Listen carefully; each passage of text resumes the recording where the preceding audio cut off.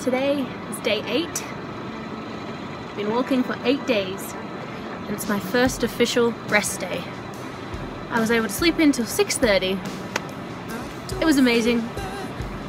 But it's also the first day that I am now a lone wolf. From now on, I'll be trekking by myself. I can't wait. I'm actually really, really excited to just be alone in this. It's been so amazing having Veronica and Jay with me the last week. But I'm really excited to do this. I'm sure I'll meet people along the way. I'll keep you updated.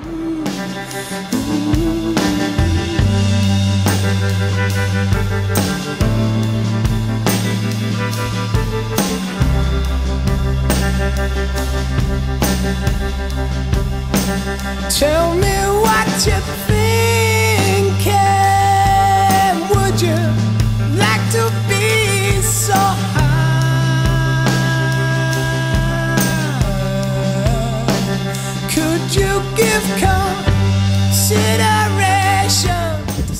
So much for a rest day.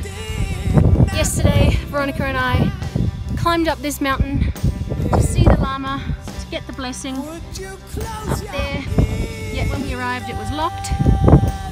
Safe to say we didn't get our blessing, but we've got a bag of food that we wanted to offer to the Lama. So I asked around town today and they assure me she is up there.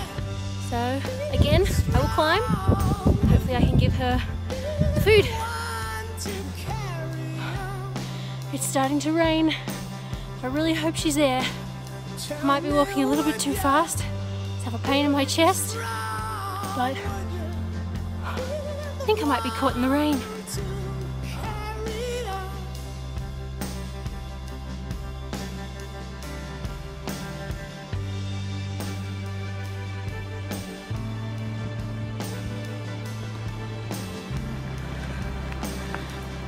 Believe it.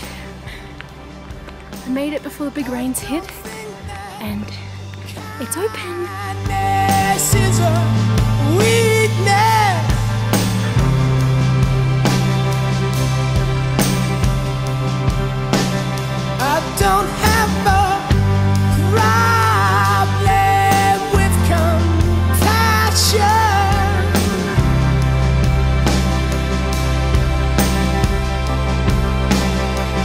You close your ears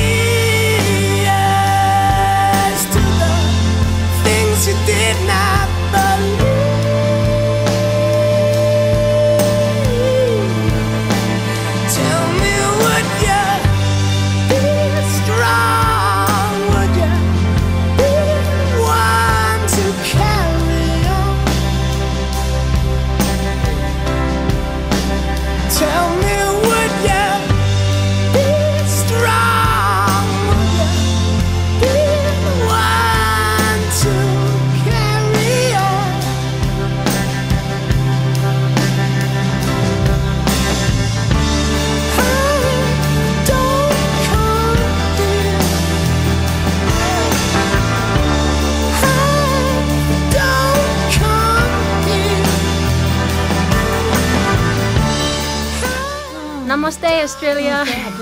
Yeah. I Guess I'd call this a successful mission. Got my blessing. Was able to give her her food. Now it's time for some tea.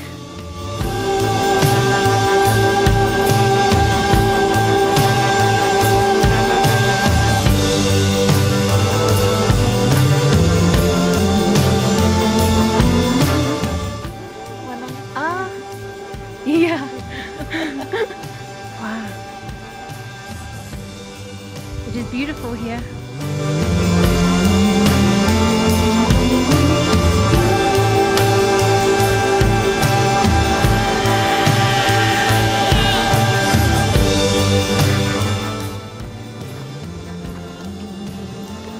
That was pretty amazing. Got my blessing had tea and biscuits. We chatted. Her English was great. She's up here all alone. It was her, her mother, and her father. Her mother died about 10 years ago, and her dad passed away about a year ago. He was 101, and he was having health problems. They flew him to Kathmandu and he didn't make it. So now she's here all by herself. She walks down to Manang every three weeks or so for a couple of days and then comes back up. She even gave me a little juice to take with me. So sweet. It, that was very, very special. Got a big smile on my face. now it's starting to rain again, so I gotta charge it back down to town.